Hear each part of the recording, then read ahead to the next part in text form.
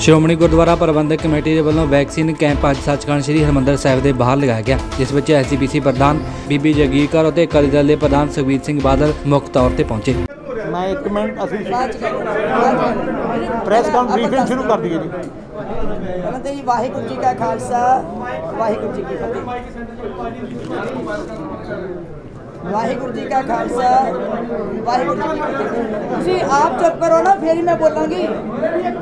ਵਾਹਿਗੁਰੂ ਜੀ ਕਾ ਖਾਲਸਾ ਵਾਹਿਗੁਰੂ ਜੀ ਕੀ ਫਤਿਹ ਤੁਸੀਂ ਆਪ ਚੁੱਪ ਕਰੋ ਨਾ ਫੇਰ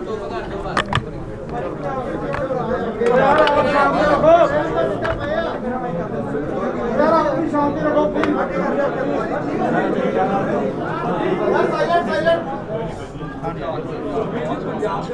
ਇਹ ਕਾਕਾ ਸਵਾਲ ਬਾਅਦ ਕਰ ਲਿਓ ਹਾਂ। ਪਹਿਲਾਂ ਸਾਨੂੰ ਤੇ ਬੋਲਣ ਤੋਂ ਪਿਛੇ ਵਾਹਿਗੁਰੂ ਜੀ ਕਾ ਖਾਲਸਾ। ਵਾਹਿਗੁਰੂ ਜੀ ਕੀ ਫਤਿਹ। ਧੰਨ ਸ੍ਰੀ ਗੁਰੂ ਰਾਮਦਾਸ ਜੀ ਦੇ ਪਵਿੱਤਰ ਸਥਾਨ ਤੇ ਜੋ ਸੰਸਾਰ ਦੇ ਕੋਨੇ-ਕੋਨੇ ਚੋਂ ਆ ਕੇ ਮੱਥਾ ਟੇਕ ਕੇ ਬਖਸ਼ਿਸ਼ ਲੈਂਦਾ ਹੈ, ਉਹ ਹਮੇਸ਼ਾ ਸੁੱਖਾਂ ਦੀਆਂ ਝੋਲੀਆਂ ਭਰ ਕੇ ਜਾਂਦਾ ਹੈ। ਭਾਵੇਂ ਉਹ ਦੁੱਖ ਭੰਜਨੀ ਬੇਰੀ ਦੇ ਥੱਲੇ ਆ ਕੇ ਉਸ ਬੇਰੀ ਦੇ ਕੋਲ ਇਸ਼ਨਾਨ ਕਰੇ, ਭਾਵੇਂ ਸਰੋਵਰ ਦੇ ਕਿਸੇ ਕੋਨੇ ਵਿੱਚ ਆ ਕੇ ਇਸ਼ਨਾਨ ਕਰੇ, ਉਹ ਸਮਝਦਾ ਕਿ ਮੈਨੂੰ ਤਨ ਦਾ ਅਰੋਗ ਹੋ ਗਿਆ, ਮੇਰਾ ਤਨ ਜਿਹੜਾ ਤੰਦਰੁਸਤ ਹੋ ਗਿਆ। ਫਿਰ ਜਾ ਕੇ ਕਰ ਇਸ਼ਨਾਨ ਸਿਮਰ ਪ੍ਰਭ ਆਪਣਾ। ਫਿਰ ਬਾਣੀ ਸਰਵਣ ਕਰਦੇ ਹੈ ਬਾਣੀ ਦੀ ਬਖਸ਼ਿਸ਼ ਹੁੰਦੀ ਹੈ ਤੇ ਗੁਰੂ ਪਾਤਸ਼ਾਹ ਜਿਹੜੇ ਸਰਬ ਰੋਗ ਕਾ ਔਖਦ ਨਾਮ ਜਿਹੜਾ ਉਹਦੀ ਪ੍ਰਾਪਤੀ ਕਰਕੇ ਸੁੱਖਾਂ ਦੀ ਝੋਲੀ ਭਰ ਕੇ ਜਾਂਦਾ ਮੈਂ ਲੰਬੀ ਉਸ ਪਾਸੇ ਗੱਲ ਨਾ ਕਰਾਂ। ਅੱਜ ਕਿਉਂਕਿ ਧੰਨ ਗੁਰੂ ਰਾਮਦਾਸ ਜੀ ਨੇ ਬਖਸ਼ਿਸ਼ ਕੀਤੀ ਹੈ ਕਿ ਜੋ ਸੰਸਥਾ ਬਹੁਤ ਵੱਡੀਆਂ ਕੁਰਬਾਨੀਆਂ ਦੇ ਨਾਲ, ਬਹੁਤ ਵੱਡੀਆਂ ਸ਼ਹੀਦਾਂ ਦੇ ਸਿਰਾਂ ਦੇ ਉੱਤੇ ਉਸਰੀ ਹੈ ਜੋ ਸੰਸਥਾ ਦੇ ਜੜ੍ਹਾਂ ਦੇ ਵਿੱਚ ਸਾਡੇ ਬਜ਼ੁਰਗਾਂ ਦੀ ਸੀਨੇ ਦੀ ਮਿੱਝ ਪਈ ਹੈ ਖੁਰਾਕ ਵਜੋਂ। ਸਾਡੇ ਬਜ਼ੁਰਗਾਂ ਦਾ ਖੂਨ ਪਿਆ ਇੱਕ ਸਿੰਜਣ ਵਾਸਤੇ। ਉਸ ਬਜ਼ੁਰਗਾਂ ਦੇ ਕਰਕੇ ਇਹ ਸੰਸਥਾ ਜਿਹੜੀ ਹੈ ਦੁਨੀਆ ਵਿੱਚ ਨਿਵੇਕਲੀ ਹੈ। ਸਿਰ ਮੌਰ ਹੈ। ਇੱਕੋ ਇੱਕ ਸੰਸਥਾ ਕੌਮ ਦੀ ਹੈ ਜਿਹਨੂੰ ਲੋਕ ਆ ਕੇ ਬੜਾ ਸਤਿਕਾਰ ਦੇ ਕੇ, ਸਿਰ ਝੁਕਾ ਕੇ ਇਸ ਸੰਸਥਾ ਨੂੰ ਸਤਿਕਾਰ ਦਿੰਦੇ। ਇਸ ਸੰਸਥਾ ਦੇ ਕੰਮ ਵੀ ਓਡੇ ਮਹਾਨ ਹੋਣ। ਜਿਸ ਮਹਾਨ ਸ਼ਹੀਦਾਂ ਦੇ ਸਿਰਾਂ ਦੇ ਉੱਤੇ ਉਸਰੀ ਹੈ। ਔਰ ਜਿਸ ਮਹਾਨ ਕਾਰਜ ਵਾਸਤੇ ਬਣੀ ਹੈ ਕਿ ਗੁਰਮਤਿ ਦੀ ਰਾਖੀ ਕਰਨੀ, ਧਰਮ ਦੀ ਪ੍ਰਚਾਰ, ਪ੍ਰਸਾਰ ਕਰਨਾ ਤੇ ਸਿਧਾਂਤਿਕ ਤੌਰ ਤੇ ਪਹਿਰੇਦਾਰੀ ਕਰਨੀ, ਸਿੱਖ ਰਹਿਤ ਮਰਿਆਦਾ ਅਨੁਸਾਰ ਸਾਰੇ ਕਾਰਜ ਕਰਨੇ, ਨਿਰਵਿਘਨ ਬਾਣੀ ਦਾ ਪ੍ਰਵਾਹ ਚਲਾ ਕੇ ਹਰ ਥਾਂ ਦੇ ਉੱਤੇ ਆਪਣੀ ਸੇਵਾ ਨੂੰ ਸੰਪੂਰਨ ਕਰਨਾ। ਇਹ ਇਸ ਸੰਸਥਾ ਦੇ ਬਹੁਤ ਵੱਡੇ ਕਾਰਜ ਹੈ।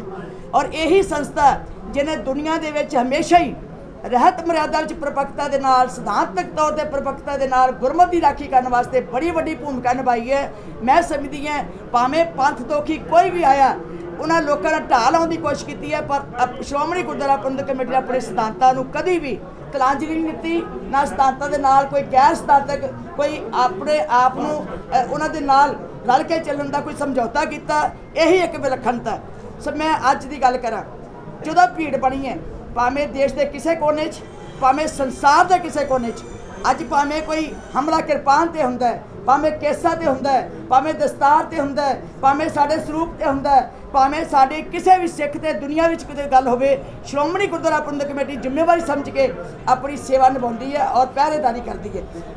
ਮੈਂ ਇਸ ਗੱਲ ਦੀ ਆਪਣੇ ਆਪ ਨੂੰ ਖੁਸ਼ਕਿਸਮਤ ਸਮਝਦੀ ਹੈ ਕਿ ਵਾਹਿਗੁਰੂ ਨੇ ਇਹ ਮੌਕਾ ਦਿੱਤਾ, ਮੈਂ ਧੰਨਵਾਦ ਕਰਦੀ ਹਾਂ ਜਿੱਥੇ ਸਾਰੀ ਸ਼੍ਰੋਮਣੀ ਅਕਾਲੀ ਦਲ ਦੀ ਪੰਥਕ ਜਮਾਤ ਦਾ ਸਰਦਾਰ ਸੁਖਬੀਰ ਸਿੰਘ ਜੀ ਬਾਦਲ ਦੇ ਪੂਰੀ ਸੰਸਥਾ ਦਾ, ਜਿਨ੍ਹਾਂ ਨੇ ਭਰੋਸੇ ਦੇ ਨਾਲ ਇਹ ਸ਼੍ਰੋਮਣੀ ਗੁਰਦੁਆਰਾ ਪ੍ਰਬੰਧਕ ਕਮੇਟੀ ਦੀ ਜਿੱਥੇ ਚੋਣ ਦੇ ਵਿੱਚ ਵੱਡੀਆਂ ਬਖਸ਼ਾਂ ਅਸੀਂ ਲੈਂਦੇ ਹਾਂ, ਉਥੇ ਨਾਲ ਸਾਨੂੰ ਸਹਿਯੋਗ ਦਿੰਦੇ ਆ, ਨਾਲ ਸੰਸਥਾ ਨੂੰ ਉੱਚਾ ਚੁੱਕਣ ਵਾਸਤੇ ਸਾਡੀ ਬਹੁਤ ਵੱਡੀ ਸ਼ਕਤੀ ਬਣ ਕੇ, ਢਾਲ ਬਣ ਕੇ ਤੁਰਦੇ ਆ। ਮੈਂ ਇਹਨਾਂ ਦਾ ਧੰਨਵਾਦ ਕਰਦੀ ਹਾਂ। ਪਿਛਲੇ ਸਮੇਂ 'ਚ ਨੌ ਕੋਵਿਡ ਕੇਅਰ ਸੈਂਟਰ ਅਸੀਂ ਖੋਲੇ ਔਰ ਕਿਉਂ ਖੋਲੇ ਕਿਉਂਕਿ ਜਦੋਂ ਦੁਨੀਆ ਤੜਪ ਰਹੀ ਸੀ ਜਦੋਂ ਘਰ ਘਰ ਵਿੱਚੋਂ ਲਾਸ਼ਾਂ ਨਿਕਲ ਰਹੀਆਂ ਸਨ, ਜਦੋਂ ਪਰਿਵਾਰਾਂ ਦੇ ਪਰਿਵਾਰ ਤਬਾਹ ਹੋ ਗਏ, ਜਦੋਂ ਸਾਰੇ ਸੰਸਾਰ ਦੇ ਲੋਕਾਂ 'ਚ ਹਾਹਾਕਾਰ ਮਚੀ ਹੋਈ ਸੀ, ਕੋਈ ਦਵਾਈ ਨਹੀਂ ਸੀ ਮਿਲ ਰਹੀ, ਕੋਈ ਡਾਕਟਰ ਨਹੀਂ ਸੀ ਮਿਲ ਰਿਹਾ, ਕੋਈ ਵੈਂਟੀਲੇਟਰ ਨਹੀਂ ਸੀ ਮਿਲ ਰਿਹਾ, ਕੋਈ ਆਕਸੀਜਨ ਨਹੀਂ ਸੀ ਮਿਲ ਰਹੀ, ਕੋਈ ਹਸਪਤਾਲ ਨਹੀਂ ਸੀ ਮਿਲ ਰਿਹਾ। ਮੇਰਾ ਖਿਆਲ ਹੈ ਸ਼੍ਰੋਮਣੀ ਗੁਰਦੁਆਰਾ ਪ੍ਰਬੰਧਕ ਕਮੇਟੀ ਨੂੰ ਉਸ ਵੇਲੇ ਚਿੰਤਾ ਲੱਗੀ ਤੇ ਮੈਂ ਉਸ ਵੇਲੇ ਪ੍ਰਧਾਨ ਸਾਹਿਬ ਜੀ ਨਾਲ ਸਲਾਹ ਕੀਤੀ। ਪ੍ਰਧਾਨ ਸਾਹਿਬ, ਸਾਨੂੰ ਕੋਈ ਅਗਵਾਈ ਦਿਓ, ਕਿਉਂਕਿ ਤੁਹਾਡੇ ਸੋਰਸਸ ਬਹੁਤ ਨੇ। ਤੁਸੀਂ ਬਹੁਤ ਵੱਡੀਆਂ ਸੇਵਾਵਾਂ ਭਾਵੇਂ ਭਾਰਤ ਸਰਕਾਰ ਚ ਕੀਤੀਆਂ ਭਾਵੇਂ ਪੰਜਾਬ ਦੀ ਸਰਕਾਰ ਚ ਕੀਤੀਆਂ ਤੁਹਾਡੇ ਹੱਥ ਲੰਬੇ ਨੇ। ਤੁਸੀਂ ਬਹੁਤ ਵੱਡੇ ਲੋਕਾਂ ਨੂੰ ਜਾਣਦੇ ਵੀ ਹੋ ਜਿੱਥੋਂ ਅਸੀਂ ਦਵਾਈਆਂ ਲੈ ਸਕੀਏ, ਜਿੱਥੋਂ ਅਸੀਂ ਸੋਚ ਲੈ ਸਕੀਏ। ਮੈਂ ਧੰਨਵਾਦ ਇਸ ਲਈ ਕਰਦੀ ਹਾਂ ਕਿਉਂਕਿ ਕੋਈ ਕਿਸੇ ਨੂੰ ਰਾਹ ਦਿਖਾਉਣ ਵਾਲੇ ਵੀ ਹੁੰਦੇ ਆ, ਕੋਈ ਦਰਦ ਵੀ ਰੱਖਦੇ ਆ। ਅੱਜ ਕੋਈ ਲੀਡਰ ਬਾਹਰ ਨਹੀਂ ਨਿਕਲ ਰਿਹਾ। ਮੈਂ ਇਸ ਗੱਲ ਦਾ ਵੀ ਧੰਨਵਾਦ ਕਰਦੀ ਬਾਦ ਸਾਹਿਬ। ਤੁਸੀਂ ਉਹ ਵੀ ਜ਼ਿੰਮੇਵਾਰੀ ਨਾਲ ਵੀ ਨਿਭਾਉਣ ਲੱਪੇ ਕਿ ਜੇ ਸਾਨੂੰ ਇਹ ਸਕੀਮ ਅਸੀਂ ਡਾਕਟਰ ਨਾਲ ਸਲਾਹ ਕਰਕੇ ਕਨਸੈਂਟਰੇਟਰ ਪਹਿਲਾਂ ਸ਼ੁਰੂ ਕੀਤੇ, ਨੌ ਕੋਵਿਡ ਸੈਂਟਰ ਸਾਡੇ ਖੁੱਲ ਚੁੱਕੇ ਹੈ। ਪੂਰਾ ਗੁਰੂ का ਲੰਗਰ ਤਿਆਰ ਕਰਕੇ ਦੇਣਾ, ਪੂਰੀ ਡਾਈਟ ਦੇਣੀ ਔਰ ਨਾਲ ਨਾਲ ਮਾਹਰ ਡਾਕਟਰ ਜਿਹੜੇ ਹੈ ਉਹ ਉਪਲਬਧ ਕਰਾਉਣੇ ਮੇਰਾ ਖਿਆਲ ਹੈ ਗੁਰੂ ਦੀ ਬਖਸ਼ਿਸ਼ ਹੋਈ ਹੈ ਅਸੀਂ ਸਾਰਿਆਂ ਨੇ ਸ਼੍ਰੋਮਣੀ ਗੁਰਦੁਆਰਾ ਪ੍ਰਬੰਧਕ ਕਮੇਟੀ ਨੇ ਸਲਾਹ ਕਰਕੇ ਜੋ ਕੀਤਾ ਮੈਂ ਸਮਝਦੀ ਹੈ ਕਿ ਅੱਜ ਸੰਗਤਾਂ ਨੇ ਬਹੁਤ ਬੜਾ ਸਨਮਾਨ ਕੀਤਾ ਬਹੁਤ ਸੰਗਤਾਂ ਇਸ ਨੂੰ ਸ਼ਾਬਾਸ਼ ਦੇ ਰਹੀਆਂ ਬਹੁਤ ਸਲਾਹ ਦੇ ਰਹੀਆਂ ਇਸੇ ਕਰਕੇ ਜੋ ਕੈਨੇਡਾ की ਅਮਰੀਕਾ की यूके की ਅ, ਨਿਊਜ਼ੀਲੈਂਡ की ਦੁਬਈ की ਵੱਖ-ਵੱਖ ਥਾਵਾਂ ਦੇ ਉੱਤੇ ਸਾਨੂੰ ਸੰਗਤਾਂ ਦੇ ਸਹਿਯੋਗ ਦੇ ਕੇ ਸ਼ਰਧਾ ਦੇ ਨਾਲ ਆਪ ਕਨਸੈਂਟਰੇਟਰ ਭੇਜੇ ਨਾਲ ਹੁਣ ਉਹਨਾਂ ਨੇ ਵੈਂਟੀਲੇਟਰ ਕੱਲ ਚੱਲ ਪਏ ਹੈ। ਟ੍ਰਾਂਟੋ ਦੇ ਗੁਰਦੁਆਰਾ ਸਾਹਿਬ ਦੇ ਵਿੱਚੋਂ ਪੂਰੀ ਕਮੇਟੀ ਨੇ ਅਪੀਲ ਪਾਈ ਕਿ ਬੀਬੀ ਜੀ ਨੇ ਕਿਹਾ ਕਿ ਹੁਣ ਕਨਸੈਂਟਰੇਟਰ ਭਾਵੇਂ ਘੱਟ ਕਰ ਦਿਓ ਲੇਕਿਨ ਸਾਨੂੰ ਵੈਂਟੀਲੇਟਰ ਭੇਜੋ। ਤੀਜਾ ਪੜਾਅ ਆ ਰਿਹਾ ਅਸੀਂ ਤੀਜੇ ਪੜਾਅ ਦੀ ਤਿਆਰੀ ਕਰਨੀ ਹੈ ਕਿ ਸਾਨੂੰ ਘੱਟੋ ਘੱਟ 100 ਵੈਂਟੀਲੇਟਰ ਲਾਈਏ ਤਾਂ ਜੋ ਅਸੀਂ ਲੋਕਾਂ ਦੀ ਉਹ ਵੀ ਸੇਵਾ ਕਰ ਸਕੀਏ। ਕੋਈ ਤੜਪੇ ਨਾ ਮਰ ਜਾਣ, ਕੋਈ ਇਹ ਨਾ ਕਵੇ ਕਿ ਆਈਸੀਯੂ 'ਚ ਥਾਂ ਨਹੀਂ ਮਿਲੀ। ਬੈੱਡ ਨਹੀਂ ਮਿਲਿਆ, ਵੈਂਟੀਲੇਟਰ ਨਹੀਂ ਮਿਲਿਆ, ਅਸੀਂ ਉਹ ਵੀ ਅਗਲੇ ਪੜਾਅ ਦੀ ਤਿਆਰੀ ਕਰਨ ਲੱਪੇ ਵਾਹਿਗੁਰੂ ਕਰੇ ਸੁੱਖ ਕਰੇ, ਨਾ ਪੜਾਵੇ ਲੇਕਿਨ ਸਰਕਾਰ ਜਿਵੇਂ ਕਹਿ ਰਹੀ ਹੈ, ਦਹਿਸ਼ਤ ਪਾ ਰਹੀ ਹੈ, ਉਹਦੀ ਤਿਆਰੀ ਕਰਨੀ ਸਾਡਾ ਫਰਜ਼ ਹੈ। ਮੈਂ ਇਹ ਵੀ ਦੱਸਣਾ ਚਾਹੁੰਦੀ ਹਾਂ ਕਿ ਅੱਜ ਵੀ ਜਿਹੜਾ ਵੈਂਟੀ ਵੈਕਸੀਨ ਦੀ ਗੱਲ ਆਈ, ਪਹਿਲਾਂ ਵੀ ਅਸੀਂ ਸਾਰੀ ਵੈਕਸੀਨ ਜਿਹੜੀ ਕੀਤੀ ਹੈ, ਅਸੀਂ ਬਿਲਕੁਲ ਇੱਥੇ ਕੈਂਪ ਲਾ ਕੇ ਫ੍ਰੀ ਕੀਤੀ ਹੈ, ਹਸਪਤਾਲ 'ਚ ਵੀ ਫ੍ਰੀ ਕੀਤੀ, ਇੱਥੇ ਵੀ ਫ੍ਰੀ ਕੀਤੀ। ਤੇ ਮੈਂ ਸਾਰੀ ਸੰਗਤ ਨੂੰ ਇਹ ਬੇਨਤੀ ਕਰਾਂਗੀ ਕਿ ਅੱਜ ਦਾ ਜਿਹੜਾ ਇਹ ਕੰਮ ਹੋਇਆ ਇਹ ਵੀ ਅਸੀਂ ਜਦੋਂ ਸੋਚਿਆ ਕਿ ਕਿਸੇ ਪਾਸੇ ਵੈਕਸੀਨ ਨਹੀਂ ਮਿਲ ਰਹੀ, ਸਰਕਾਰ ਕੋਈ ਬਾਹ ਨਹੀਂ ਫੜ ਰਹੀ, ਕੋਈ ਭਾਰਤ ਸਰਕਾਰ ਵੱਲੋਂ ਕੋਈ ਇਜਾਜ਼ਤ ਨਹੀਂ ਮਿਲ ਰਹੀ, ਵਿਦੇਸ਼ਾਂ 'ਚੋਂ ਮੰਗਾਉਣ ਵਾਸਤੇ ਕਿਹਾ, ਉੱਥੋਂ ਵੀ ਇਜਾਜ਼ਤ ਨਹੀਂ ਮਿਲ ਰਹੀ। ਚਾਹੀਦਾ ਤੇ ਇਹ ਹੈ ਕਿ ਭਾਰਤ ਸਰਕਾਰ ਆਪ ਜ਼ੋਰ ਪਾ ਕੇ ਬਾਹਰਲੀਆਂ ਕੰਪਨੀਆਂ ਕੋਲ ਵੈਕਸੀਨ ਲੈ ਕੇ ਆਉਣ, ਅਸੀਂ ਉਹਨੂੰ ਸਾਨੂੰ ਮੁਹੱਈਆ ਕਰਾਉਣ, ਅਸੀਂ ਖਰੀਦ ਕੇ ਲਈਏ, ਜਿੱਦਾਂ ਮਰਜ਼ੀ ਲਈਏ, ਔਖੇ ਹੋਈਏ, ਸੌਖੇ ਹੋਈਏ, ਸੰਕਟ ਦਾ ਸਮਾਂ ਸਾਡੇ ਕੋਲ ਵੀ ਆਰਥਿਕ ਪੱਧਰ ਤੇ, ਅਸੀਂ ਸੰਕਟ 'ਚ ਹੈ। ਲੇਕਿਨ ਮੈਂ ਭਿਖਾਰਨ ਬਣ ਕੇ ਵੀ, ਜੇ ਘਰਾਂ 'ਚ ਜਾ ਕੇ ਮੰਗ ਕੇ ਵੀ ਮੈਂ ਇਹ ਸੇਵਾ ਕਰ ਸਕਾਂ, ਮੈਂ ਆਪਣੇ ਧੰਨ ਭਾਗ ਸਮਝਾਂਗੀ। ਇਹ ਮਾਨਵਤਾ ਦੀ ਸੇਵਾ, ਇਹ ਮਨੁੱਖਤਾ ਦੀ ਸੇਵਾ, ਗੁਰੂ ਨੇ ਸਿਖਾਈ ਹੈ ਤੇ ਸੋ ਸੇਵਾ ਕੀਤੀ ਸਫਲ ਹੈ, ਜੇ ਸਤਿਗੁਰ ਕਾ ਮਨ ਮੰਨੇ। ਜੇ ਇਹ ਗੁਰੂ ਪਾਤਸ਼ਾਹ ਕਿਰਪਾ ਕਰੇ, ਅਸੀਂ ਝੋਲੀ ਅੱਡ ਕੇ ਵੀ, ਸੰਗਤਾਂ ਕੋਲੋਂ ਫਰਿਆਦ ਕਰਕੇ ਵੀ, ਮੰਗ ਕੇ ਵੀ, ਇਹ ਮਨੁੱਖਾਂ ਦੀ ਸੇਵਾ ਕਰਾਂਗੇ। ਸੋ ਸਾਧ ਸੰਗਤ ਜੀ, ਮੇਰੀ ਬੇਨਤੀ ਹੈ ਕਿ ਅੱਜ ਜੋ ਇਹ ਵੈਕਸੀਨ ਸਰਦਾਰ ਸੁਖਬੀਰ ਸਿੰਘ ਜੀ ਬਾਦਲ ਸਾਹਿਬ ਨੂੰ ਜੋ ਹੀ ਮੈਂ ਕਿਹਾ, ਇਹਨਾਂ ਨੇ ਤੁਰੰਤ 5000 ਤੋਂ ਵੱਧ ਇਹ ਸਾਨੂੰ ਡੋਜ਼ ਜਿਹੜੀ ਸੀ, ਉਹ ਲੈ ਕੇ ਦਿੱਤੀ ਔਰ ਨਾਲ ਯਤਨਸ਼ੀਲ ਹੈ ਕਿ ਆਉਣ ਵਾਲੇ ਸਮੇਂ ਲਈ ਜਿੰਨੀ ਵੀ ਹੋ ਸਕੇ, ਜਿੱਥੋਂ ਵੀ ਪ੍ਰਾਪਤ ਹੋ ਸਕੇ, ਇਹ ਮੈਂ ਤੁਹਾਡਾ ਸਾਥ ਦਿਆਂਗਾ। ਬਾਦਲ ਸਾਹਿਬ, ਤੁਹਾਡਾ ਧੰਨਵਾਦ। ਤੁਸੀਂ ਆਪ ਵੀ ਘਰ ਘਰ ਫਿਰ ਰਹੇ ਹੋ, ਆਪ ਵੀ ਕਰੋਨਾ ਵਿੱਚ ਘੁੰਮਦੇ ਫਿਰਦੇ ਹੋ, ਕੋਈ ਬਾਹਰ ਨਹੀਂ ਨਿਕਲਦਾ। ਮੈਂ ਸਮਝਦੀ ਹੈ, ਇਹ ਗੁਰੂ ਰਾਮਦਾਸ ਨੇ ਤੁਹਾਡੇ ਤੇ ਮਿਹਰ ਕੀਤੀ ਹੈ। ਇਹ ਗੁਰੂ ਰਾਮਦਾਸ ਸਾਡੇ ਸਿਰ ਤੇ ਹੱਥ ਰੱਖ ਕੇ ਕਰਵਾ ਰਿਹਾ ਦਿੱਲੀ ਸੇ ਗੁਰਦੁਆਰਾ ਪ੍ਰਬੰਧਕ ਕਮੇਟੀ, ਜੇ ਉਹਨਾਂ ਨੇ ਵੀ ਸੇਵਾ ਕੀਤੀ ਹੈ, ਭਾਵੇਂ ਉਹ ਕਿਸਾਨਾਂ ਦੀ ਸੇਵਾ ਦੇ ਹੱਕ ਵਿੱਚ ਹੋਈ, ਭਾਵੇਂ ਸ਼੍ਰੋਮਣੀ ਕਮੇਟੀ ਨੇ ਕਿਸਾਨਾਂ ਦੀ ਕੀਤੀ ਹੋਵੇ, ਭਾਵੇਂ ਲੰਗਰਾਂ ਦੀ ਕੀਤੀ ਹੋਵੇ, ਭਾਵੇਂ ਦੁਖੀਆਂ ਦੀ ਕੀਤੀ ਹੋਵੇ, ਇਹ ਸੰਸਥਾਵਾਂ ਨੂੰ ਤੁਸੀਂ ਜੋ ਅੱਜ ਸ਼ਾਬਾਸ਼ ਦੇ ਰਹੇ ਹੋ, ਜੋ ਤੁਸੀਂ ਹੋਰ ਵਡਿਆਈਆਂ ਦੇ ਰਹੇ ਹੋ, ਇਹ ਤੁਹਾਨੂੰ ਵਾਹਿਗੁਰੂ ਤੰਦਰੁਸਤੀ ਦੇਵੇ ਤੇ ਤੁਸੀਂ ਸਾਡੇ ਨਾਲ ਇਦਾਂ ਹੀ ਸਹਿਯੋਗ ਦਿੰਦੇ ਰਹੋ ਔਰ ਤੁਸੀਂ ਸਾਡੀ ਮੁਸ਼ਕਲ ਹੱਲ ਕਰਨ ਵਾਸਤੇ ਆਪ ਪਿੰਡਾਂ ਪਿੰਡਾਂ 'ਚ, ਹਰ ਹਲਕਿਆਂ ਵਿੱਚ ਹਰ ਜ਼ਿਲ੍ਹੇ 'ਚ ਜਾ ਜਾ ਕੇ ਆਪ ਕਨਸੈਂਟਰੇਟਰ ਖਰੀਦ ਖਰੀਦ ਕੇ ਜਿੱਥੇ ਸਾਨੂੰ ਵੀ ਲਿਆ ਕੇ ਦਿੱਤੇ, ਉੱਥੇ ਉਹਨਾਂ ਦੀ ਵੀ ਸੇਵਾ ਕਰ ਰਹੇ ਹੋ ਘਰ ਘਰ ਵਿੱਚ। ਵਾਹਿਗੁਰੂ ਸਭ ਨੂੰ ਬਲ ਬਖਸ਼ੇ। ਮੈਂ ਸਾਰੀ ਸੰਗਤ ਨੂੰ ਬੇਨਤੀ ਕਰਾਂਗੀ ਪੰਜਾਬ ਵਾਸੀਆਂ ਨੂੰ, ਆਓ ਰਲ ਕੇ ਕੋਈ ਪਾਰਟੀ ਦੀ ਬਾਈ ਦੀ ਗੱਲ ਨਾ ਕਰੋ, ਕੋਈ ਕਿਸੇ ਸੰਸਥਾ ਦੀ ਗੱਲ ਨਾ ਕਰੋ, ਸਾਰੇ ਜਿਹੜੇ ਵੀ ਹਿੱਸਾ ਪਾ ਸਕਦੇ ਹੈ, ਅੱਗੇ ਹੋ ਕੇ ਆਓ। ਅਸੀਂ ਤੁਹਾਡੇ ਨਾਲ ਹੈ, ਜਿੱਥੇ ਲੋੜ ਪਵੇ, ਅਸੀਂ ਸ਼੍ਰੋਮਣੀ ਗੁਰਦੁਆਰਾ ਪ੍ਰਬੰਧਕ ਕਮੇਟੀ ਹਰ ਇੱਕ ਦਾ ਸਹਿਯੋਗ ਕਰਾਂਗੇ। ਵਾਹਿਗੁਰੂ ਜੀ ਕਾ ਖਾਲਸਾ, ਵਾਹਿਗੁਰੂ ਅੱਜ ਪੰਜਾਬ ਵਾਸੀਆਂ ਵਾਸਤੇ ਬੜਾ ਅਹਿਮ ਦਿਨ ਹੈ, ਕਿਉਂਕਿ ਸ਼੍ਰੋਮਣੀ ਗੁਰਦੁਆਰਾ ਪ੍ਰਬੰਧਕ ਕਮੇਟੀ ਜੋ ਜ਼ਿੰਮੇਵਾਰੀ ਸਰਕਾਰ ਦੀ ਸੀ, ਉਹ ਸਰਕਾਰ ਆਪਣੀ ਜ਼ਿੰਮੇਵਾਰੀ ਪੂਰੀ ਨਹੀਂ ਕਰ ਰਹੀ। ਅੱਜ ਦਾ ਅਖਬਾਰ ਮੈਂ ਪੜ੍ਹਿਆ ਤੇ ਮੈਂ ਅਫਸਰ ਨੂੰ ਹੀ ਪੁੱਛਿਆ, ਕਹਿੰਦੇ ਸਾਡੇ ਕੋਲੇ ਕੋਈ ਵੈਕਸੀਨ ਨਹੀਂ ਹੈ। ਆ ਪੰਜਾਬ ਸਰਕਾਰ ਦੇ ਅਫਸਰ ਦਾ ਕਹਿਣਾ ਹੈ ਤੇ ਅਖਬਾਰਾਂ ਦੇ ਅੱਜ। ਮੈਂ ਉਹਨਾਂ ਨੂੰ ਪੁੱਛਿਆ, ਫਿਰ ਕਦੋਂ ਆਉਣਗੇ? ਕਹਿੰਦੇ, ਸਾਨੂੰ ਕੋਈ ਪਤਾ ਨਹੀਂ। ਸਰਕਾਰ ਨੂੰ ਪਤਾ ਨਹੀਂ। ਸਰਕਾਰ ਕੋਈ ਇੰਤਜ਼ਾਮ ਕਰ ਨਹੀਂ ਰਹੀ। ਸਭ ਤੋਂ ਵੱਧ ਮੌਤਾਂ ਪੰਜਾਬ 'ਚ ਹੋ ਰਹੀਆਂ। ਸਭ ਤੋਂ ਵੱਧ ਲੋਕ ਪਿੰਡਾਂ ਦੇ, ਖਾਸ ਕਰਕੇ ਰੂਰਲ ਏਰੀਆ 'ਚ ਲੋਕੀ ਬਹੁਤ ਬਿਮਾਰੀ ਫੈਲ ਰਹੀ ਹੈ।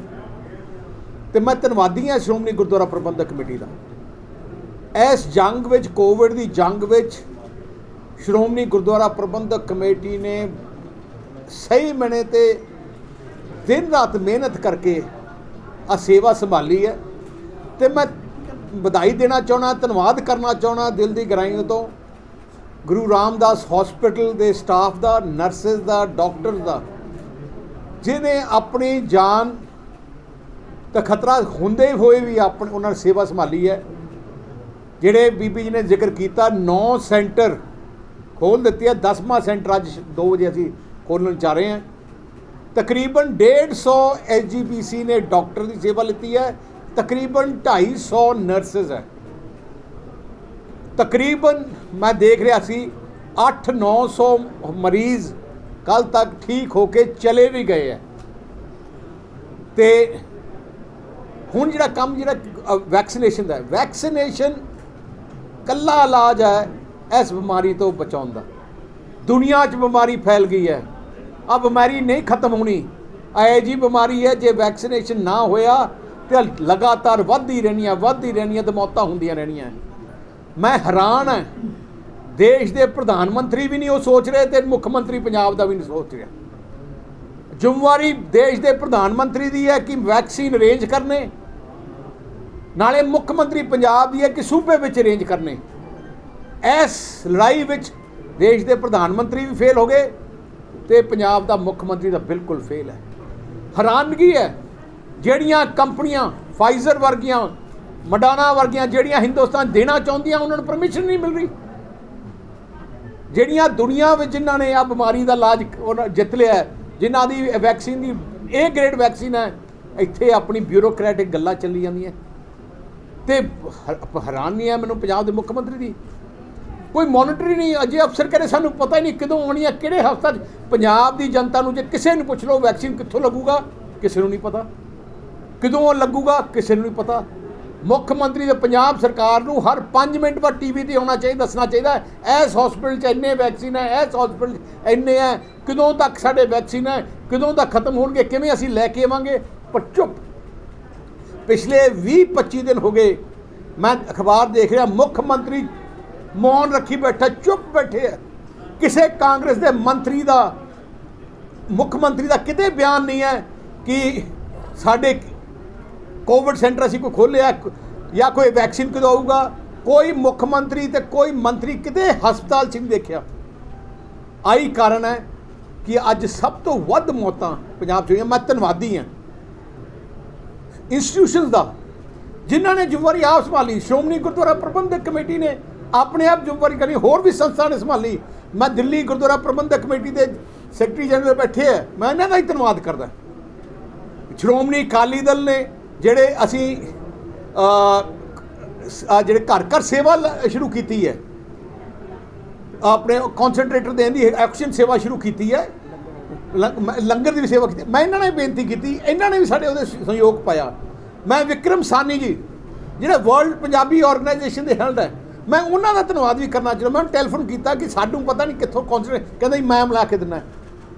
ਜੀ, ਅਸੀਂ ਟੈਲੀਫੋਨ ਕਰ ਕਰਕੇ ਲਿਆ ਸਕਦੇ ਹਾਂ ਤੇ ਲੋਕਾਂ ਦੇ ਵਿੱਚ ਘਰਾਂ 'ਚ ਭੇਜ ਸਕਦੇ ਹਾਂ। ਪੰਜਾਬ ਸਰਕਾਰ ਦਾ 1 ਮਿੰਟ ਦਾ ਕੰਮ ਹੈ। ਮੈਂ ਪਹਿਲੇ ਦਿਨ ਕਿਹਾ ਸੀ, ਮੈਂ ਹੁਣ ਵੀ ਕਹਿੰਦਾ, ਜੇ ਪੰਜਾਬ ਨੂੰ ਬਚਾਉਣਾ 6 ਮਹੀਨੇ 'ਚ ਆਪਾਂ ਪੰਜਾਬ ਦੇ ਵਿੱਚ ਸਾਰੇ ਘਰ ਘਰ ਨੂੰ ਵੈਕਸੀਨੇਟ ਕਰ ਸਕਦੇ ਹਾਂ ਜੇ ਕੈਬਨਿਟ ਹਜ਼ਾਰ ਕਰੋੜ ਸਾ- ਪਾਈ ਪਾਸੇ ਰੱਖੇ, ਪੈਸਾ ਦੇ ਕੰਪਨੀਆਂ ਨੂੰ ਨਾਲ ਦੇ ਨਾਲ ਵੈਕਸੀਨ ਚੱਕੇ, ਕਿਉਂਕਿ ਸਾਰੇ ਸੂਬਿਆਂ ਦੀਆਂ ਸਰਕਾਰਾਂ ਖਰੀਦਣ ਲੱਗੀਆਂ। ਜਿਹੜਾ ਪਹਿਲੇ ਪੈਸੇ ਦੇ ਦੇਊਗਾ, ਉਹ ਲੈ ਆਊਗਾ।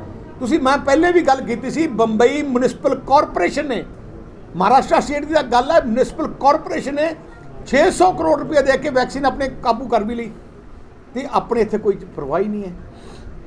ਤੋ ਅੱਜ ਜਿਹੜਾ ਵੈਕਸੀਨ ਵੈਕਸੀਨੇਸ਼ਨ ਅੱਜ ਐਸਜੀਪੀ ਸ਼ੁਰੂ ਕਰ ਰਿਹਾ ਜਿਵੇਂ ਜਿਵੇਂ ਡੋਜ਼ਸ ਜਿਹਦੇ ਡਿਮਾਂਡ ਆਈ ਜਾਊਗੀ, ਉਵੇਂ ਉਵੇਂ ਐਸਜੀਪੀਸੀ ਹੋਰ ਮੰਗਾਈ ਜਾਊਗੀ। ਤੇ ਅੱਜ ਅੱਜ ਮੈਂ ਬੀਬੀ ਜੀ ਨਾਲ ਗੱਲ ਕਰ ਰਿਹਾ ਸੀ, ਕਹਿੰਦੇ ਸੀ ਆਪਾਂ ਅੱਜ ਦਾ ਇੱਥੋਂ ਸ਼ੁਰੂ ਕਰਾਂਗੇ, ਜਲਦੀ ਹੀ ਤਿੰਨੇ ਤੱਕ ਸਭਾਨ ਤੇ ਜਾ ਕੇ ਆਪਾਂ ਪਰਮਾਤਮਾ ਦਾ ਆਸ਼ੀਰਵਾਦ ਲੈ ਕੇ, ਬਖਸ਼ਿਸ਼ ਲੈ ਕੇ, ਹਰ ਪੰਜਾਬ ਦੇ ਕੋਨੇ-ਕੋਨੇ ਤੇ ਐਸਜੀਪੀਸੀ ਤਰਫੋਂ ਵੈਕਸੀਨੇਸ਼ਨ ਡਰਾਈਵ ਸ਼ੁਰੂ ਹੋਗੀ ਮੈਂ ਧੰਨਵਾਦ ਕਰਦਾ ਫਿਰ ਤੋਂ ਐਸਜੀਪੀਸੀ ਦਾ ਐਸਜੀਪੀਸੀ ਮੈਂਬਰ ਦਾ ਐਗਜ਼ੈਕਟਿਵ ਦਾ ਬੀਬੀ ਜਗੀਰ ਕੌਰ ਜੀ ਦਾ ਕਿ ਇਹਨਾਂ ਨੇ ਆ ਲੜਾਈ ਅੱਗੇ ਹੋ ਕੇ ਲੜੀ ਹੈ। ਹੋਰ ਕੋਈ ਸਵਾਲ? ਪੰਜਾਬ 'ਚ ਕਾਫੀ ਮੌਤਾਂ ਹੋ ਚੁੱਕੀਆਂ ਪਰ ਪੰਜਾਬ ਸਰਕਾਰ ਨੇ ਹਲੇ ਤੱਕ ਕੋਈ ਟੀਕੇ ਦਾ ਇੰਤਜ਼ਾਮ ਨਹੀਂ ਕੀਤਾ। ਮੈਂ ਇਹ ਵੀ ਕਹਿ ਰਿਹਾ ਵੈਕਸੀਨ ਦਾ ਇੰਤਜ਼ਾਮ ਨਹੀਂ ਕੀਤਾ ਦਵਾਈਆਂ ਦਾ ਇੰਤਜ਼ਾਮ ਨਹੀਂ ਕੀਤਾ ਹਸਪਤਾਲਾਂ ਦਾ ਕੋਈ ਇੰਤਜ਼ਾਮ ਨਹੀਂ ਹੋਇਆ ਬਲੈਕ ਫੰਗਸ ਇੰਨੇ ਲੋਕ ਮਰ ਰਹੇ ਆ ਬਲੈਕ ਫੰਗਸ ਨਾਲ ਟੀਕੇ ਮਿਲ ਨਹੀਂ ਰਹੇ। ਟੀਕੇ ਇਕੱਲੇ ਸਰਕਾਰ ਲਿਆ ਸਕਦੀ ਹੈ। ਵਿਚਾਰੇ ਗਰੀਬ ਕਿੱਥੋਂ ਲਿਆਉਣਗੇ ਟੀਕੇ? ਟੀਕੇ ਵੀ ਇੰਨੇ ਮਹਿੰਗੇ ਹੈ ਤੋ ਇਸ ਕਰਕੇ ਮੈਂ ਮੁੱਖ ਮੰਤਰੀ ਨੂੰ ਬੇਨਤੀ ਕਰਦਾ ਆ ਸਾਰੇ ਕੰਮ ਛੱਡ ਦਿਓ। ਬਲੈਕ ਫੰਗਸ ਦੇ ਤੇ ਵੈਕਸੀਨ ਦਾ ਟੀਕਿਆਂ ਦਾ ਇੰਤਜ਼ਾਮ ਕਰੋ। ਸੁਖਬੀਰ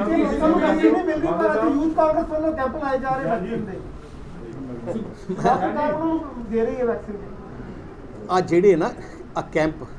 ਅੱਛਾ, ਇੱਕ ਹੋਰ ਮੈਂ ਗੱਲ ਦੇਖੀ ਇਹਨਾਂ ਦੀ। ਕਈ ਐਮਐਲਏ ਨੇ ਥੋੜੇ ਥੋੜੇ ਸਟਾਕ ਲਿਆ ਕੇ ਸਰਕਾਰ ਤੋਂ ਜਿਹੜੇ ਆਏ ਸੀ ਵੈਕਸੀਨ ਇੰਨੀ ਦੇਖੋ ਹਾਲਾਤ, ਇਹ ਸਰਕਾਰ ਦੇ ਇੰਨੀ ਹਾਲਾਤ ਮਾੜੀ ਹੈ। ਮੁੱਖ ਮੰਤਰੀ ਨੇ ਆਪਣੇ ਐਮਐਲਏ ਨੂੰ ਕਿਹਾ, ਤੁਸੀਂ ਉਹਨੂੰ ਮੈਂ 50 50 ਵੈਕਸੀਨ ਦੇਣਾ, ਆਪਣੇ ਆਪਣੇ ਵਰਕਰਾਂ ਦੇ ਘਰੇ ਆ ਕੇ ਲਵਾ ਲਿਓ। ਮੁੱਖ ਮੰਤਰੀ ਸੋਚ ਹੋਣੀ ਚਾਹੀਦੀ ਹੈ ਜੀ। ਸਾਰਾ ਪੰਜਾਬ ਤੁਹਾਡਾ ਹੈ। ਤੁਸੀਂ ਪੰਜਾਬ ਦੇ ਮੁੱਖ ਮੰਤਰੀ ਹੋ। ਆ ਕਾਂਗਰਸ ਦੇ ਵਰਕਰਾਂ ਦੇ ਜਿਹੜੇ 50 50 ਦਿਨ ਤੁਸੀਂ ਵੈਕਸੀਨ ਲਵਾ ਰਹੇ ਹੋ ਉਹਨਾਂ ਦੇ ਮੁੱਖ ਮੰਤਰੀ ਨਹੀਂ। ਸੁਖਬੀਰ ਜੀ ਸੁਖਬੀਰ ਸਾਹਿਬ, ਸਾਰੇ ਨੂੰ ਵੈਕਸੀਨ ਇਹਦੇ ਕਰਕੇ- ਨਹੀਂ ਪਈ ਲੇਕਿਨ ਤੁਸੀਂ ਸਰਕਾਰ ਚ ਫਿਰ ਵੀ ਵੈਕਸੀਨੇਸ਼ਨ ਦੀ ਅਵੇਲੇਬਿਲਿਟੀ ਜਿਹੜੀ ਹੈ ਉਹ ਕਰਦੀ ਹੈ ਤੇ ਸਰਕਾਰ ਨੂੰ ਕੀ ਸੁਝਾਅ ਦੇਣਾ ਚਾਹੋਗੇ ਕਿ ਕਿਹੜੀ ਕਿਹੜੀ ਕੰਪਨੀ ਨਾਲ ਟਾਈਪ ਕੀਤਾ ਜਾ ਸਕਦਾ ਹੈ? ਤੁਸੀਂ ਸਾਰੀ ਕੰਪਨੀ ਨਾਲ ਟਾਈਪ ਹੋ ਸਕਦਾ ਹੈ। ਸਪੂਟਨਿਕ ਕੰਪਨੀ ਤਿਆਰ ਹੈ ਦੇਣ ਨੂੰ।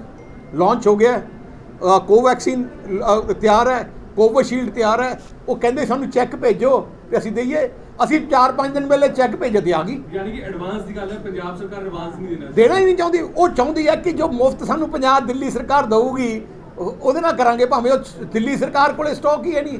ਇਹਦਾ ਮਤਲਬ ਭਾਵੇਂ ਤੁਸੀਂ ਹੈਰਾਨ ਹੋ ਇਹਨਾਂ ਦੀ ਸੋਚ ਮੁੱਖ ਮੰਤਰੀ ਦੀ। ਲੋਕਾਂ ਦੀ ਕੁਰਬਾਨੀ ਦੇ ਸਕਦਾ ਹੈ ਪੈਸੇ ਬਚਾਉਣ ਵਾਸਤੇ। ਆ ਖਜ਼ਾਨਾ ਜਨਤਾ ਦਾ ਖਜ਼ਾਨਾ ਹੈ। ਖਜ਼ਾਨਾ ਜਨਤਾ ਵਾਸਤੇ ਹੈ। ਹਜ਼ਾਰ ਕਰੋੜ ਕੁਝ ਵੀ ਨਹੀਂ। ਇੱਕ ਮਿੰਟ ਦਾ ਕੰਮ ਹੈ ਸਰਕਾਰ ਵਾਸਤੇ। ਜੇ ਲਾ ਦੇਣ 6 ਮਹੀਨਿਆਂ 'ਚ ਸ਼੍ਰੋਮਣੀ ਅਕਾਲੀ ਦਲ ਦੇ ਵਰਕਰ ਨਾਲ ਲੱਗਣਗੇ ਤੇ ਮੈਂ ਅਪੀਲ ਕਰੂੰਗਾ ਸਾਰੀ ਪਾਰਟੀਆਂ ਦੇ ਵਰਕਰ ਨਾਲ ਲੱਗ ਕੇ ਅਸੀਂ ਘਰ ਘਰ ਜਾ ਕੇ ਵੈਕਸੀਨ ਲਵਾਵਾਂਗੇ। ਫਾਈਜ਼ਰ ਨੇ ਪੰਜਾਬ ਸਰਕਾਰ ਕੋਈ ਦੇਣੀ ਨਹੀਂ ਮੈਡੀਸਿਨ ਕਿਨੇ ਫਾਈਜ਼ਰ ਨੇ ਤੇ ਔਰ ਮੌਟ ਜਿਹੜੀ ਹੋਰ ਕੰਪਨੀ ਫਾਈਜ਼ਰ ਤੇ ਉਹ ਹੈਗੀਆਂ ਬਾਹਰਲੀਆਂ ਕੰਪਨੀਆਂ। ਉਹਨਾਂ ਨੂੰ ਮੈਂ ਸ਼ੁਰੂ ਕੀ ਕੀਤਾ ਸੀ? ਕਿ ਸੈਂਟਰ ਸਰਕਾਰ ਨੇ ਹਲੇ ਪਰਮਿਸ਼ਨ ਨਹੀਂ ਦਿੱਤੀ। ਉਹ ਫਾਈਜ਼ਰ ਤੇ ਦੁਨੀਆ 'ਚ ਲਾ ਰਹੀ ਹੈ। ਤੇ ਆਪਣੇ ਦੇਸ਼ ਪਰਮਿਸ਼ਨ ਕਿਉਂ ਨਹੀਂ? ਮੈਂ ਕਹਿੰਦਾ ਇਮੀਡੀਏਟਲੀ ਪਰਮਿਸ਼ਨ ਦੇਣੀ ਚਾਹੀਦੀ। ਫਤਿਹ 2 ਸ਼ੁਰੂ ਕਰ ਰਹੇ ਮਿਸ਼ਨ ਫਤਿਹ ਪਹਿਲਾਂ ਸ਼ੁਰੂ ਕੀਤਾ ਮਿਸ਼ਨ ਫਤਿਹ 2 ਹੁਣ ਤੀਸਰੀ ਫੇਜ਼ ਦੀ ਵੀ ਤਿਆਰੀ ਤੁਹਾਨੂੰ ਲੱਗਦਾ ਕਿ ਇਹ ਮਿਸ਼ਨ ਫਤਿਹ ਇਸ ਤਰ੍ਹਾਂ ਕਾਮਯਾਬ ਹੋਈ ਘਰੇ ਬੈਠੇ? ਆਪ ਆਪ ਘਰੇ ਬੈਠੇ। ਮੈਂ ਤੁਹਾਨੂੰ ਇੱਕ ਗੱਲ ਦੱਸਾਂ ਸਭ ਤੋਂ ਵੱਧ ਜੇ ਪਾਲਣਾ ਕੀਤੀ ਕੋਵਿਡ ਰੂਲਸ ਦੀ ਕੈਪਟਨ ਅਮਰਿੰਦਰ ਸਿੰਘ ਘਰੋਂ ਨਿਕਲੇ ਹੀ ਨਹੀਂ। ਘਰੋਂ ਹੀ ਨਹੀਂ ਨਿਕਲਿਆ। ਉਹ ਕਹਿੰਦਾ ਮੇਰੇ ਵਾਂਗੂ ਬਣ ਜਾਓ ਘਰੇ ਉਹਨਾਂ ਨਿਕਲਿਓ। ਨਾਲੇ ਕੈਬਨਿਟ ਦੇ ਮੰਤਰੀ। ਮੈਂ ਇੱਕ ਹੋਰ ਮੈਂ ਇੱਕ ਇੱਕ ਹੋਰ ਗੱਲ ਕਹਿਣਾ ਚਾਹਣਾ। ਬੜਾ ਅਫਸੋਸ ਨਾਲ ਕਹਿਣਾ ਪੈਂਦਾ ਗਵਰਨਮੈਂਟ ਆਫ ਇੰਡੀਆ ਨੇ ਹਲੇ ਤੱਕ ਜੀਐਸਟੀ ਕੋਵਿਡ ਦੇ ਇੰਜੈਕਸ਼ਨਾਂ ਤੇ ਤੇ ਕੋਵਿਡ ਦੀ ਦਵਾਈਆਂ ਤੇ ਜੀਐਸਟੀ ਕੈਂਸ ਬੰਦ ਨਹੀਂ ਕੀਤੀ। ਦੇਖੋ, ਅਸੀਂ ਐਸਜੀਪੀਸੀ ਨੇ ਹੁਣੀ ਜੀਐਸਟੀ ਭਰ ਕੇ ਇੰਜੈਕਸ਼ਨ ਲੈ ਕੇ ਆਏ ਹਾਂ। ਜਾਨਾਂ ਵਾਸਤੇ ਅਸੀਂ ਕਰ ਰਹੇ ਹਾਂ, ਮੁਫਤ ਕਰ ਰਹੇ ਹਾਂ ਤੇ ਉਹਦੇ ਬਾਅਦ ਜੀਐਸਟੀ ਕੀ ਸੈਂਟਰ ਸਰਕਾਰ ਇਹ ਤੋਂ ਵੀ ਪੈਸਾ ਕਮਾਉਣਾ ਚਾਹੁੰਦੀ ਹੈ? ਇਹ ਤੋਂ ਮਾੜੀ ਗੱਲ ਕੀ ਹੋ ਸਕਦੀ ਹੈ? ਕਮੇਟੀ ਬਣਾਈ ਹਾਈ ਕਮਾਂਡ ਅੱਜ ਅੱਜ ਮੀਟਿੰਗ ਹੈ ਜੀ ਅੱਜ ਕਮੇਟੀ ਬਣਾਈ ਗਈ ਸਰ? ਦੂਜੀ ਗੱਲ ਮੈਂ ਇੱਕ ਗੱਲ ਕਰਨਾ ਚਾਹਣਾ ਮੈਂ ਅੱਜ ਅਖਬਾਰ ਪੜਿਆ ਬਿਜਲੀ ਦੇ ਬਿੱਲ ਕਿਹਾ ਉਹਨਾਂ ਨੇ ਕਿ ਬਿਜਲੀ ਦੇ ਬਿੱਲ 1 ਰੁਪਿਆ ਘਟਾਤੇ ਐਡਾ ਵੱਡਾ ਫਰਾਡ ਤੇ ਝੂਠ ਬੋਲਿਆ। ਤੁਸੀਂ ਦੇਖੋ ਕਿਸ ਚੀਜ਼ ਘਟਾਏ ਹੈ। ਉਹਨਾਂ ਨੇ ਕਿਹਾ ਕਿ ਜਿਹੜਾ 200 ਯੂਨਿਟ ਤੱਕ ਬਾਲੂਗਾ ਬਿਜਲੀ ਦੇ ਉਹਦੇ 1 ਰੁਪਿਆ ਘਟੂਗਾ। 200 ਯੂਨਿਟ ਤੱਕ ਤਾਂ ਫ੍ਰੀ ਹੈ। ਆ ਬਿੱਲ ਨਹੀਂ ਘਟਾਏ ਉਹਨਾਂ ਬਿਜਲੀ ਰੇਟ ਨਹੀਂ ਘਟਾਏ ਇਹਨਾਂ ਨੇ ਆਪਣੀ ਸਬਸਿਡੀ ਘਟਾਤੀ ਕਿਉਂਕਿ ਉਸ ਰੇਟ ਤੇ ਸਬਸਿਡੀ ਹੁੰਦੀ ਦੇਣੀ ਪੈਂਦੀ ਹੈ ਸਰਕਾਰ ਨੇ। 200 ਯੂਨਿਟ ਤੱਕ ਤਾਂ ਫ੍ਰੀ ਹੈ ਤੇ ਦੋ, ਉਹ ਵੀ ਕਿਹਾ 2 ਕਿਲੋਵਾਟ ਤੱਕ। ਜੇ 2 ਕਿਲੋਵਾਟ ਤੱਕ ਦਾ ਕਨੈਕਸ਼ਨ ਹੋਏ ਤੇ 200 ਯੂਨਿਟ ਤੱਕ ਘੱਟ ਹੋਏ, ਫਿਰ 1 ਰੁਪਿਆ ਦੂ- ਨਾ 2 ਕਿਲੋਵਾਟ ਦਾ ਕਿਸੇ ਤੋਂ ਘੱਟ ਤੇ ਨਾ 200 ਯੂਨਿਟ ਤੋਂ 200 ਯੂਨਿਟ ਤੱਕ ਤਾਂ ਫ੍ਰੀ ਹੈ। ਤੇ ਫ੍ਰੀ ਤੋਂ 1 ਰੁਪਿਆ ਘਟਾ ਦਿਓ। ਆ ਕਾਗਜ਼ ਕਾਰਵਾਈ ਕੀਤੀ ਹੈ। ਤੇ ਮੈਂ ਹੈਰਾਨ ਹੈ, ਹਸਪਤਾਲਾਂ ਤੇ ਜਿਹੜੇ ਹਸਪਤਾਲ ਲੜਾਈ ਲੜ ਰਹੇ ਹੈ, ਉਹਨਾਂ ਦੇ ਵਧਾਤੀ ਹੈ। ਇੰਡਸਟਰੀ ਦੇ ਵਧਾਤੀ ਹੈ। ਸਾਰਿਆਂ ਦੇ ਵਧਾਤੀ ਹੈ। ਕੱਲਾ ਹੈਡਲਾਈਨ ਦਿਖਾਉਣ ਵਾਸਤੇ ਉਹਨਾਂ ਨੇ ਕਹਿਤਾ ਕਿ ਆ ਕਰ ਦਿੱਤਾ। ਸੁਖਬੀਰ ਲੋਕ ਪੰਜਾਬ ਦੇ ਵਿੱਚ ਮਰਦੇ ਪਏ ਨੇ ਇਸ ਮਹਾਮਾਰੀ ਦੇ ਨਾਲ, ਲੇਕਿਨ ਪੰਜਾਬ ਸਰਕਾਰ ਆਪਣੀ ਕੁਰਸੀ ਬਚਾਉਣ ਦੇ ਲੱਗੇ ਕੈਪਟਨ ਸਾਹਿਬ ਤੋਂ ਦੋ ਖੇਮੇ ਬਣ ਹੋਏ ਨੇ। ਇਸ ਵਕਤ ਲੋਕਾਂ ਨੂੰ ਬਚਾਉਣ ਦਾ ਟਾਈਮ ਸੀ।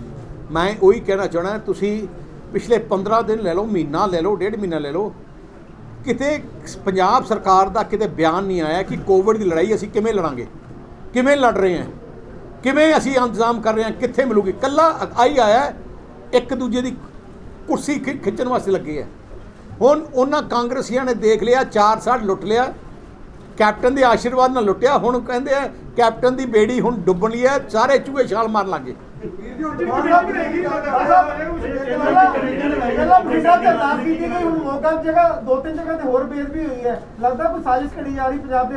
ਮੈਂ ਚਾਹੁੰਦਾ ਕਿ ਬਹੁਤ ਮਾੜੀ ਗੱਲ ਹੈ ਮੈਂ ਸਟਰੋਂਗਲੀ ਕੰਡੈਮ ਕਰਦਾ। ਜਿਹੜੇ ਦੋਸ਼ੀ ਨੂੰ ਦੋਸ਼ੀਆਂ ਨੇ ਕੀਤਾ ਹੁਣ ਜਲਦੀ ਤੋਂ ਜਲਦੀ ਫੜਨਾ ਚਾਹੀਦਾ ਪੰਜਾਬ ਸਰਕਾਰ। ਲੱਖ ਨੌਕਰੀਆਂ ਦੇਣ ਦੀ ਸਰਕਾਰ ਕਹਿ ਰਹੀ ਕਿ ਜਿਸ ਤਰ੍ਹਾਂ 6 ਮਹੀਨੇ ਪਏ ਨੇ ਰੋਜ਼ ਹੀ 750 ਨੌਕਰੀ ਮੈਂ ਤੁਹਾਨੂੰ ਇੱਕੋ ਹੀ ਬੇਨਤੀ ਕਰਨਾ ਚਾਹੁੰਦਾ ਅੱਜ ਦੇ ਟਾਈਮ ਅੱਜ ਦੇ ਦਿਨ ਮੈਂ ਕੋਈ ਪੋਲੀਟੀਕਲ ਨਹੀਂ ਬਿਆਨ ਦੇਣਾ ਸੀ ਪਰ ਤੁਸੀਂ ਸਵਾਲ ਪੁੱਛਿਆ ਮੈਂ ਕੱਲਾ ਅੱਜ ਕੋਵਿਡ ਦੇ ਤੇ ਸੰਬੰਧ ਵਿੱਚ ਮੈਂ ਮੀਟਿੰਗ ਰੱਖੀ ਹੈ ਪਰ ਫਿਰ ਵੀ ਮੈਂ ਅਖੀਰ ਵਿੱਚ ਤੁਹਾਡਾ ਸਾਰੇ ਤੁਸੀਂ ਇੱਥੇ ਆਏ ਹੋ ਮੈਂ ਬੇਨਤੀ ਕਰਨਾ ਚਾਹੁੰਦਾ ਤੁਹਾਡੇ ਰਾਹੀਂ ਮੈਂ ਬੇਨਤੀ ਕਰਨਾ ਚਾਹੁੰਦਾ ਮੁੱਖ ਮੰਤਰੀ ਜੀ ਨੂੰ ਕਿ ਮੁੱਖ ਮੰਤਰੀ ਜੀ? ਪੰਜਾਬ ਨੂੰ ਬਚਾ ਲਓ। ਪੈਸਾ ਕੱਢ ਕੇ ਖਜ਼ਾਨੇ ਚੋਂ ਵੈਕਸੀਨ ਲੈ ਲਓ। ਨਹੀਂ ਤਾਂ ਮੈਂ ਸਾਰੀ ਕੰਪਨੀਆਂ ਨੂੰ, ਸਾਰੀ ਆਰਗੇਨਾਈਜੇਸ਼ਨ ਨੂੰ ਅਪੀਲ ਕਰਦਾ ਹਾਂ ਕਿ ਆਪਾਂ ਸਾਰੇ ਕੰਟਰੀਬਿਊਟ ਕਰਕੇ ਵੈਕਸੀਨ ਇਕੱਠੇ ਲਈਏ। ਜੇ ਪੰਜਾਬ ਸਰਕਾਰ ਨੇ ਤਾਂ ਆਪਣਾ ਕੁਝ ਕਰਨਾ ਨਹੀਂ।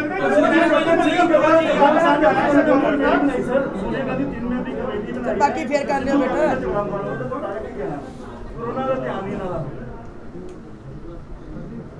ਆ ਕਮੇਟੀ ਟਾਈਮ ਟਪਾਉਣ ਵਾਸਤੇ ਹੈ। ਤੁਹਾਨੂੰ ਲੱਗਦਾ ਹਾਈ ਕਮਾਂਡ ਨੂੰ ਕਮੇਟੀ ਬਣਾਉਣੀ ਚਾਹੀਦੀ ਸੀ ਕਰੋਨਾ ਲਈ ਪੰਜਾਬ ਦੇ ਲੋਕਾਂ ਨੂੰ ਖੜੇ ਰਹੋ ਜਾਂ ਪਹਿਲਾਂ ਨਿਕਲ ਆਬਾਜੀਗਮ ਟੀਵੀ ਲਈ ਅੰਮ੍ਰਿਤਸਰ ਤੋਂ ਪੱਤਰਕਾਰ ਲਲਿਤ ਸ਼ਰਮਾ ਦੀ ਰਿਪੋਰਟ।